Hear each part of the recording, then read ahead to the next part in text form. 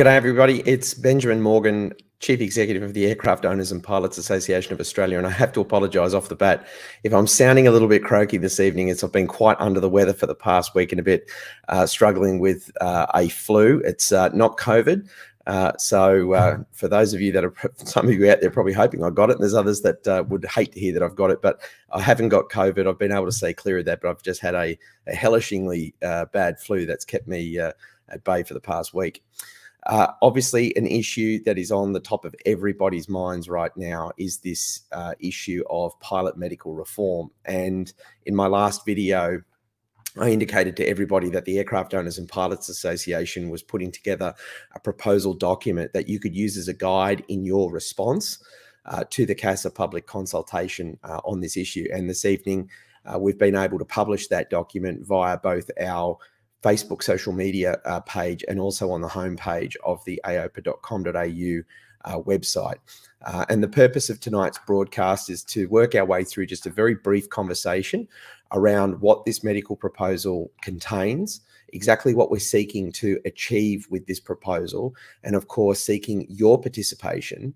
Uh, pilots, aircraft owners, aviation uh, industry participants right across the industry, uh, for you all to take part in this process by helping us drive this reform to completion. Now, I'd like to say from the outset of this that this is an culmination of five years of tireless advocacy. This has been an, a, a, monumental undertaking uh, to bring about pilot medical reform in this country for uh, the CASA RPL and the PPL community.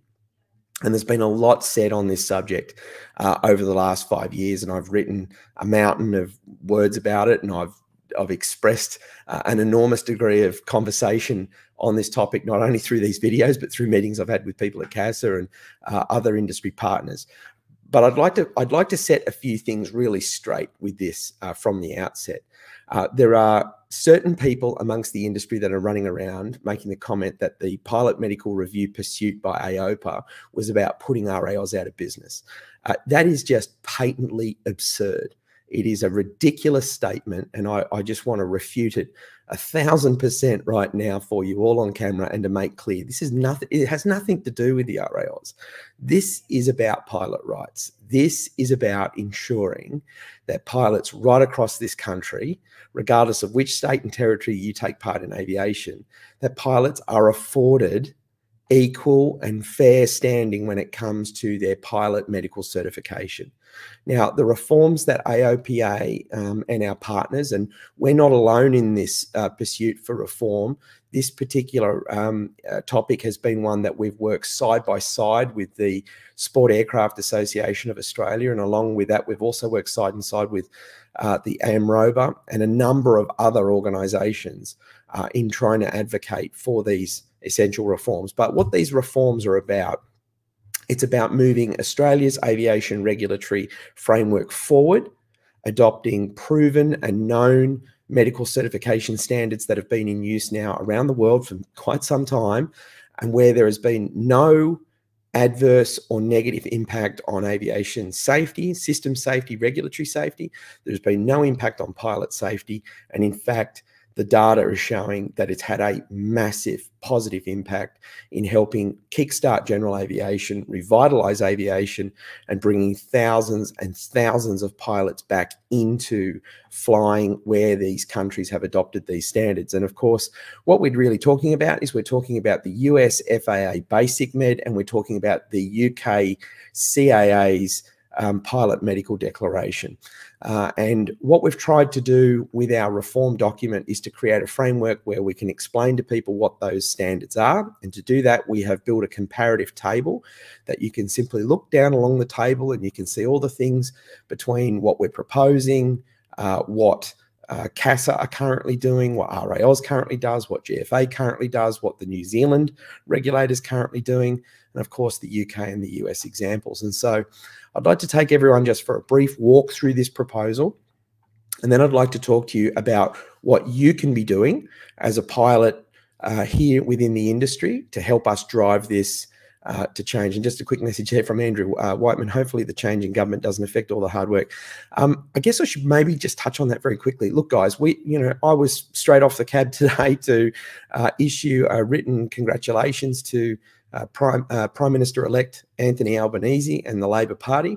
Um, they've obviously now found themselves well and truly into government, uh, and we'll be working with them. And I think that something that hopefully I've communicated over the five years or, or, five and a half years that I've been with AOPA now is that we will work with politicians on all sides uh, of the aisle to ensure that the advocacy agenda is both understood and is being actioned. So we're looking forward to working with um, uh, Prime Minister Albanese and whomever will be appointed uh, as the final cabinet members in his first cabinet. Um, Catherine King, MP, is currently the well was the shadow minister for infrastructure. We're uncertain whether she will continue in that role.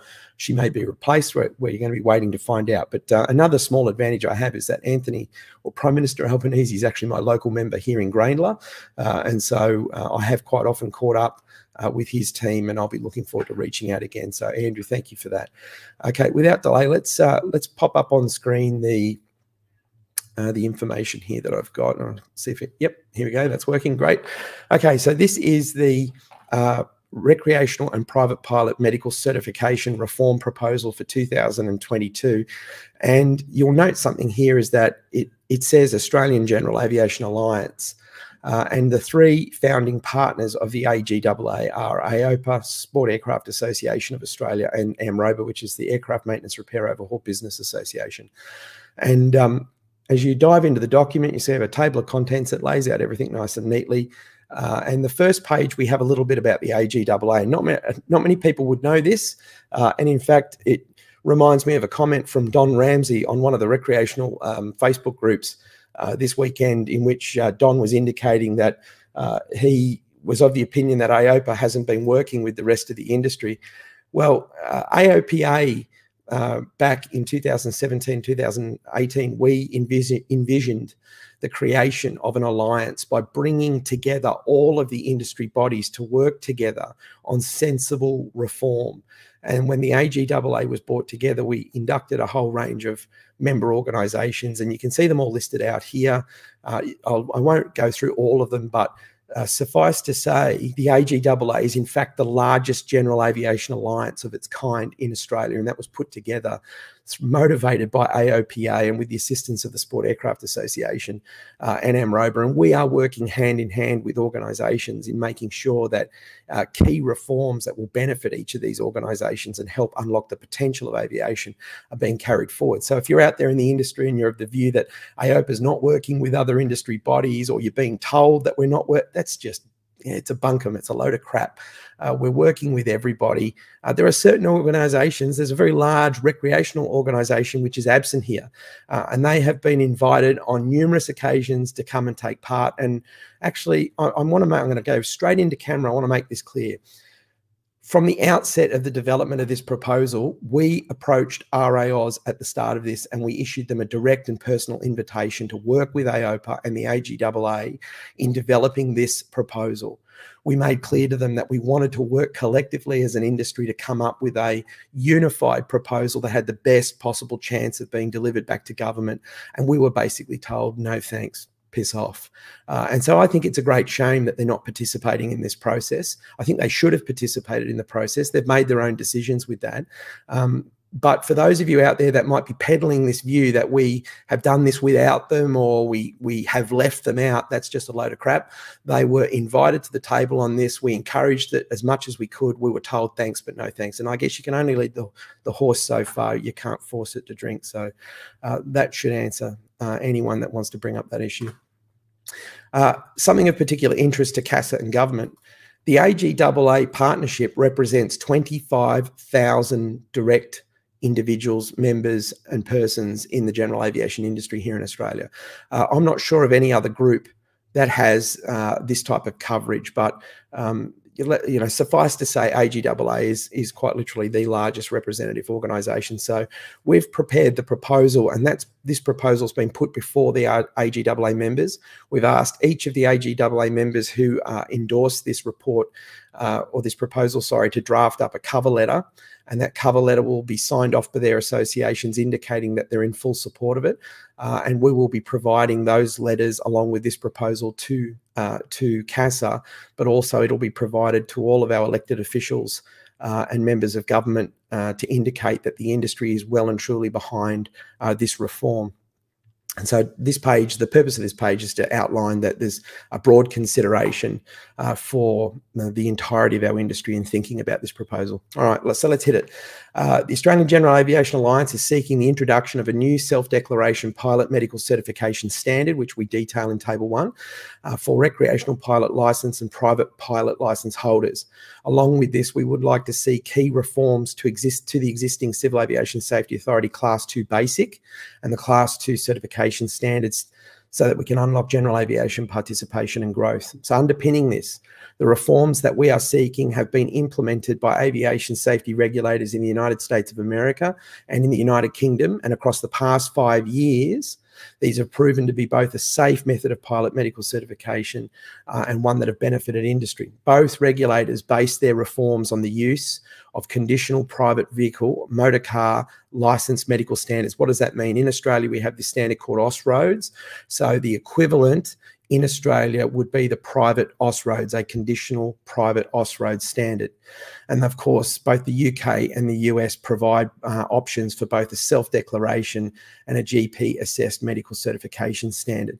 Uh, in the United States, the FAA Basic Med Pilot Med certification is widely regarded now as one of the most successful aviation regulatory reforms in modern history. And there are now a plethora of examples of senators and congress, uh, congressmen and women who have stood before government in the United States and commended the FAA uh, for what they've done in unlocking general aviation and producing a safe standard that deregulated, removed red tape, removed unnecessary costs, and advanced aviation.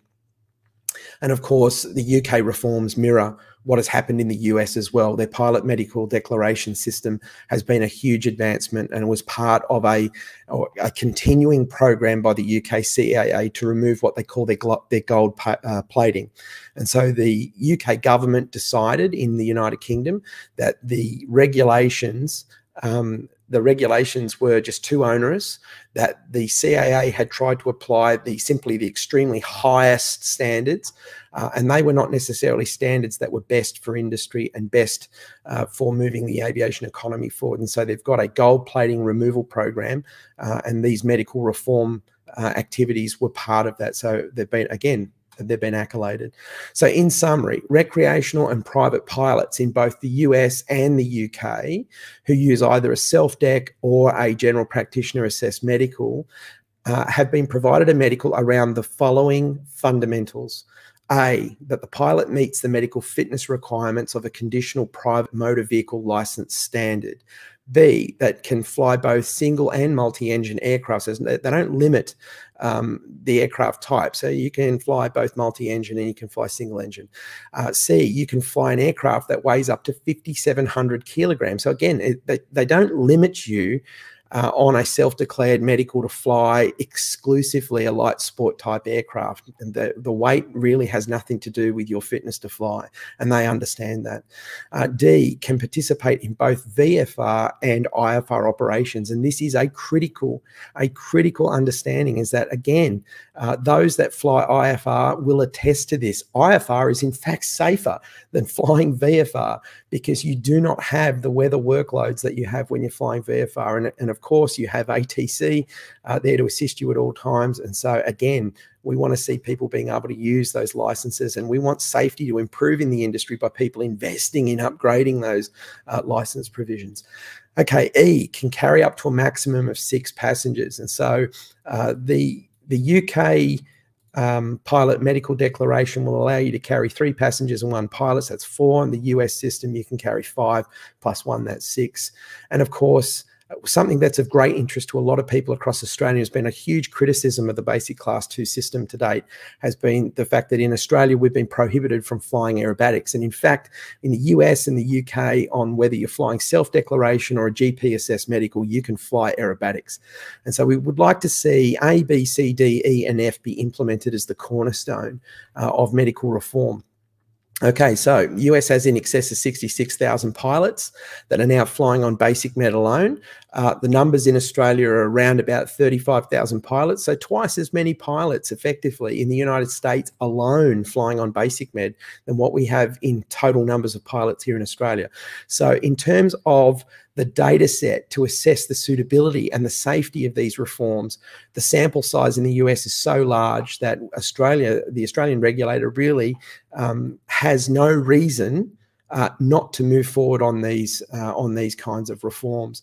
And just a reminder that the pilots that are operating on Basic Med are flying on VFR and IFR, and they fly a range of aircraft ranging from uh, hot air balloons, recreational light sport, experimental amateur built, uh, general aviation certified singles and twins, uh, piston turboprops, uh, helicopters, gyrocopters, warbirds, gliders, and more. And so it's a great reform and one that Australia really needs to be aspiring to follow. It's, it would unlock general aviation like no man's business. Okay, AGAA regards both the introduction of a new self declaration standard and reform of the CASA Basic Class 2 standard as a powerful gateway uh, to unlock our industry and to, and to drive sustainability.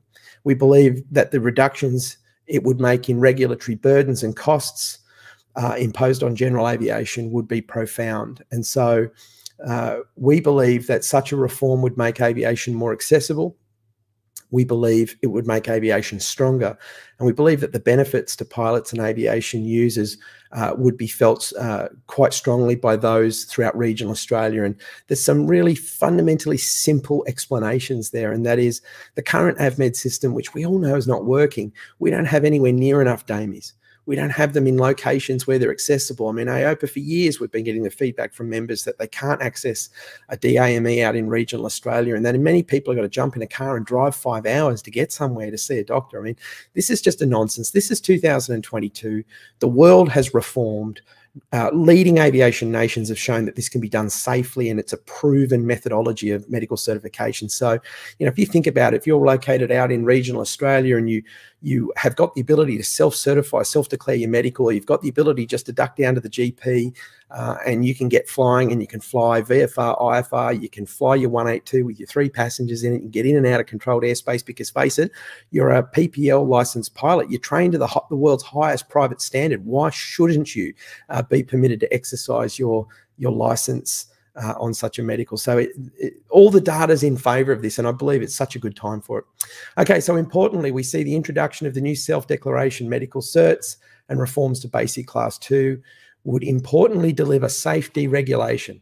And this is a key point, is that deregulation is actually a commitment that the Australian Commonwealth has made. There is a framework about reducing red tape right across government. And we would see that this is a great opportunity for CASA to be able to deregulate and to remove red tape. Uh, and in doing so, aligning itself closely with the minister's statement of expectations, um, which were set uh, for CASA just recently. Uh, and I could sit here for 20 minutes and I could talk through how it aligns with all of that. But I believe the summary uh, really. Um, it, it, it stands instead, uh, and I don't believe that CASA really have a strong argument anymore to continue to refuse these uh, these reforms, given that they have been so successful and have demonstrated themselves to be so safe in both the UK and the US examples. Okay, we've got a couple of comments we'll just quickly throw up on screen. Uh, one from Clinton. He says recent steps taken by AVMED to return to the dark ages on pilot color vision deficiency sadly demonstrate that CASA has reverted to type, unwilling or unable to make decisions on the basis of objective evidence or objective risk. Well, you know, Clinton, you and I both agree uh, what has happened on the um, color vision deficiency side is nothing short of shameful. I've actually been approached now by uh, two pilots who are seeking assistance from AOPA on this particular issue, uh, and I have uh, have readied an email to Kate Manderson this week, which I'll be sending out. But uh, again. Uh, CASA did make a commitment to commit to those reform practices which uh, New Zealand had implemented. Something has gone awry here, and suddenly CASA are taking a sidestep from it. So we do need to get to the bottom of it, and we do need to advocate to fix it. Uh, another quick one from Andrew says, How many have given it away because the hoops of Casa AVMED made them jump through despite being overall fit to fiddle? This is absolutely groundbreaking. Catapult GA back into being. Well, mate, that's exactly what it's all about. This is about unlocking our general aviation industry and moving things forward. Uh, and we've been committed to it. You know, like we have waded through waist deep crap for five years uh, on this reform, and we've pushed against the objections of certain self administrations and others who've had vested interests and horses of self interest running in the race. But I, have always believed that you know time would pass and you would get to a point where the argument becomes glaringly obvious that we have to change, and I think we're at that point now. Okay, so table one, and again, guys, um, I'll put up the link in a second where you can download this, or if you just jump on the AOPA Australia Facebook page, or if you go to our homepage, you can download this document. I'm uncertain as to how clear you're going to be able to see uh, the tables because they're pretty tight given the, the quantity of the data we had to fit in. But basically, these are the two medical standards we are seeking to be introduced in parallel. So we're not asking for one medical standard, we're asking for two things to take place. The first thing is we would like to see a self declared, self certified, self declared, self assessed medical standard introduced that follows along the UK CAA's uh, pilot medical declaration standard and it would enable private operations. It would enable VFR, IFR. This includes your night VFR. Uh, it will include single and multi-engine operation, and will include the ability to fly piston and turbine aircraft. Remembering there is a lot of great new small turboprop aeroplanes that are all on the way in. Why would we want a medical standard that stops us operating these very genuinely private general aviation aeroplanes that that fit this bracket? Uh, the self-declared medical that we're proposing would enable you to have a pilot and up to three passengers, so four people in the aircraft. Uh, it's up to 5,700 kilograms uh, uh, MTOW for the aeroplane.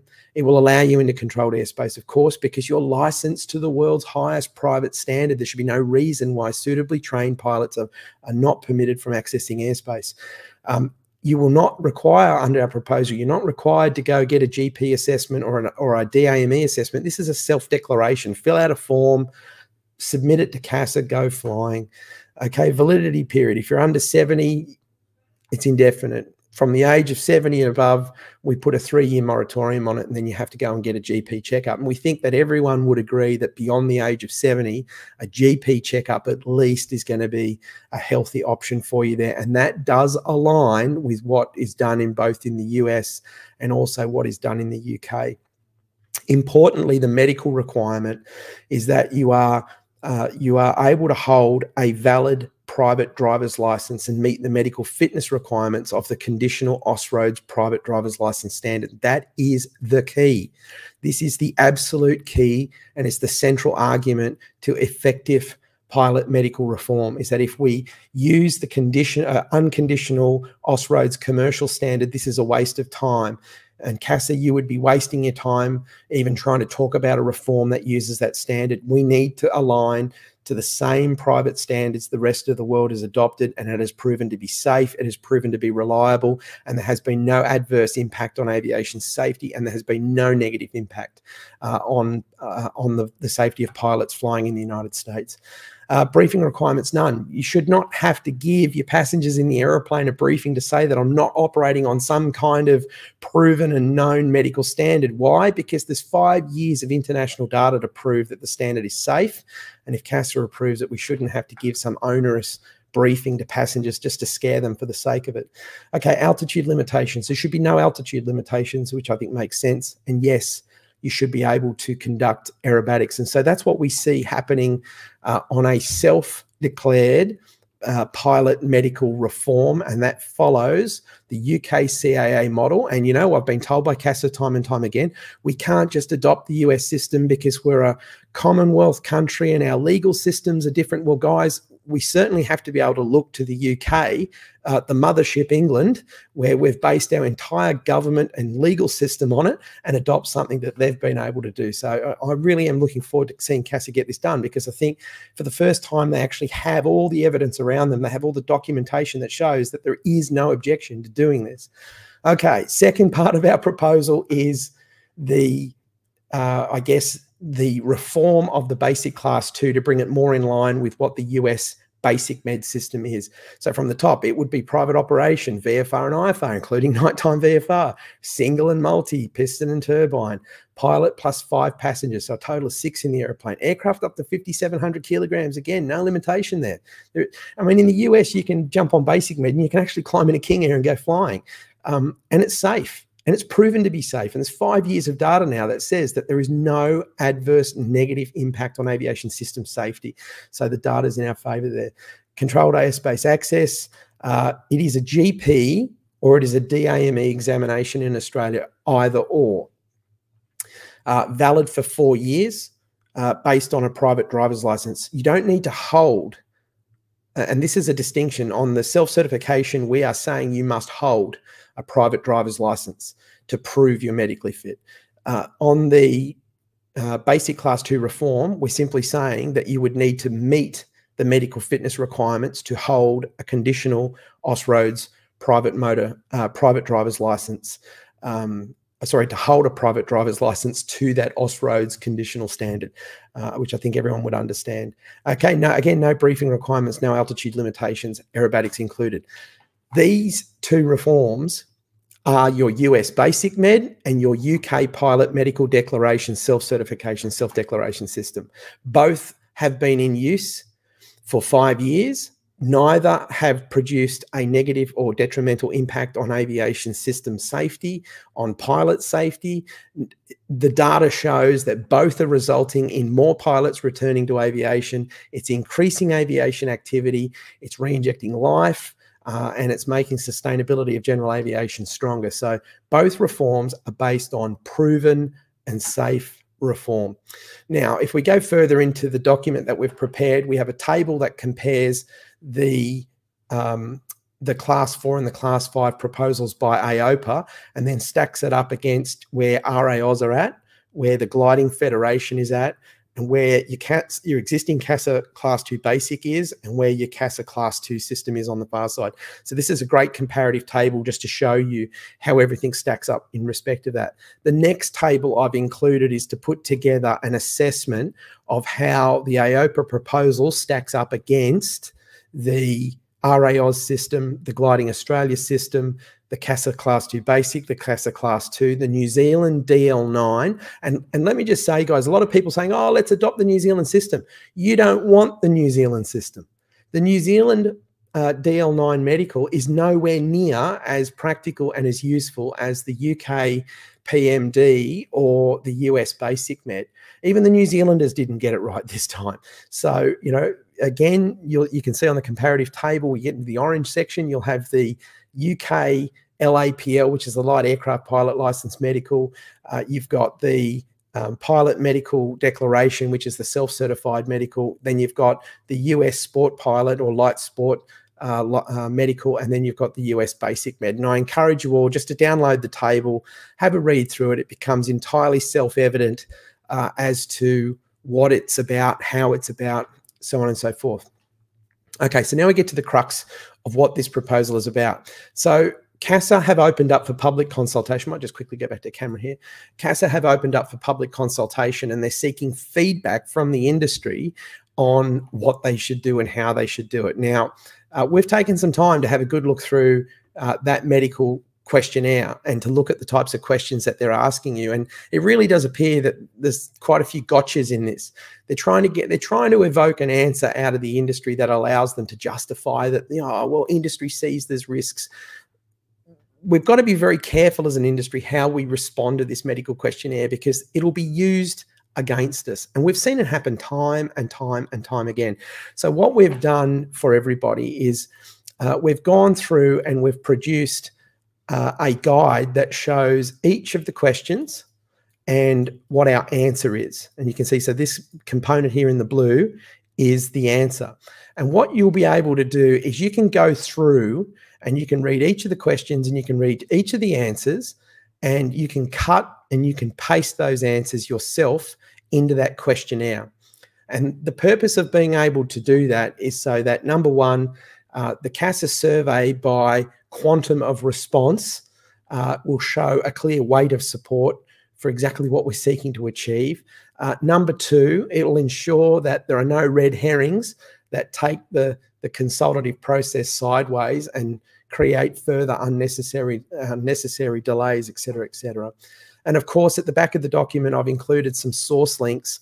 Uh, so if anyone were questioning any of the data points, uh, you can go through and you can click on these and you can extrapolate any other further information. I mean, for example, if you wanted to know uh, what the um, pilot and physician guidelines were.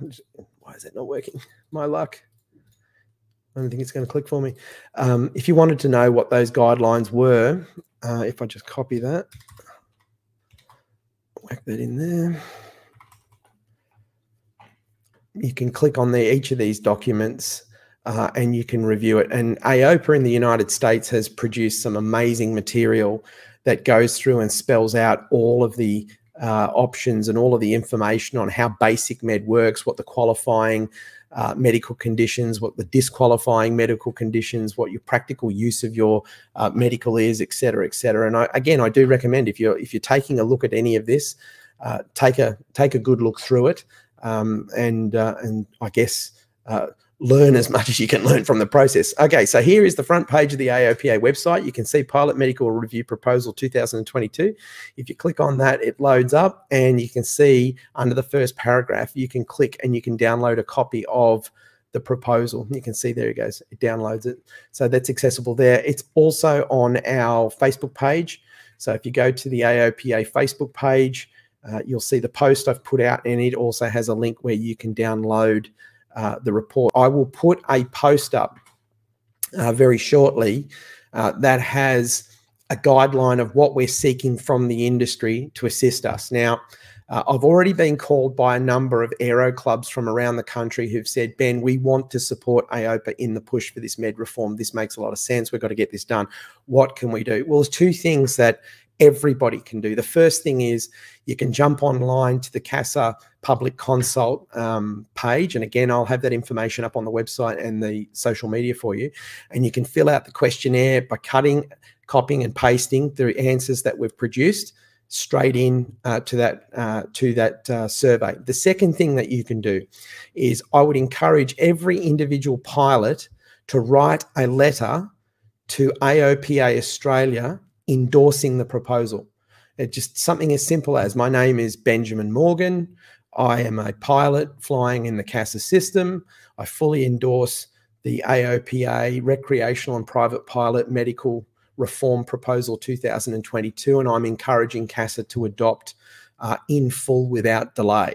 Signed, my name, my contact telephone number, and my address uh, send us a copy of that letter, which you can email through to me. I can put my email address up on screen right now for you. Um, send it through to ben.morgan at aopa.com.au. And what we will do is when we package up the proposal, which we will send to CASA external to the questionnaire, we will make a formal submission of the document proposal.